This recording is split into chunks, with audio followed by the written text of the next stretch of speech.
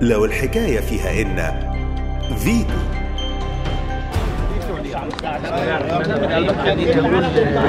إحنا في مصر آه، يوم آه، 31 7 2016 تم الإعلان في مصر 2016 تم الإعلان في مصر على القضاء على كل قوائم الانتظار من فيروس سي في مصر وكان هناك احتفالية على سفح الهرم يوم 13 أكتوبر الماضي في 2016 في هذه الاحتفالية حضرت آه، مديرة منظمة الصحة العالمية مارغريت شان وحضروا كل وزراء الصحة العرب وحضرت كل رموز الدولة المصرية من مجلس النواب وغيرهم للاحتفال بالانتهاء التام من آه، القضاء على قوائم الانتظار على سفح الهرم وكلنا حضرنا هذا الاحتفال.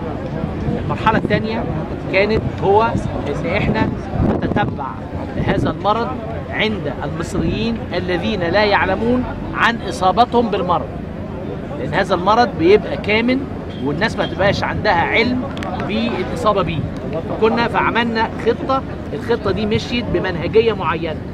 الأول إن إحنا آه، طلعنا قرار من مجلس الوزراء إن إحنا نستهدف ست فئات من المجتمع المصري مرة واحدة. ست فئات هم طلبة الجامعات المرضى اللي بيخشوا أي مستشفى حكومي العاملين في المستشفيات الحكومية المرضى المترددين مش المرضى المترددين على آه، مركز على بنوك الدم والمترددين على المعامل المركزية وأخيرا السجون.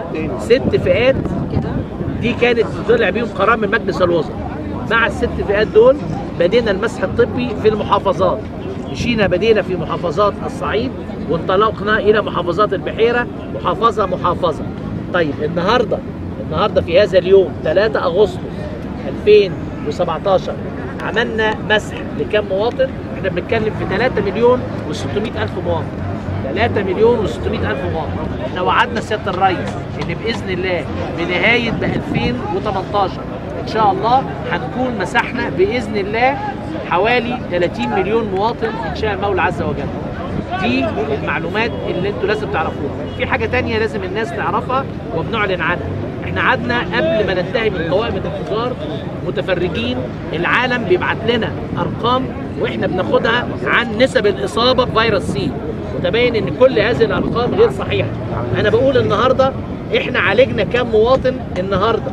النهارده يوم 3 أغسطس 2017 إحنا عالجنا مليون و100 130 ألف مواطن مصري من العلاج على نفقه الدولة أو العلاج في التأمين الصحي. مليون و130 ألف مواطن مصري.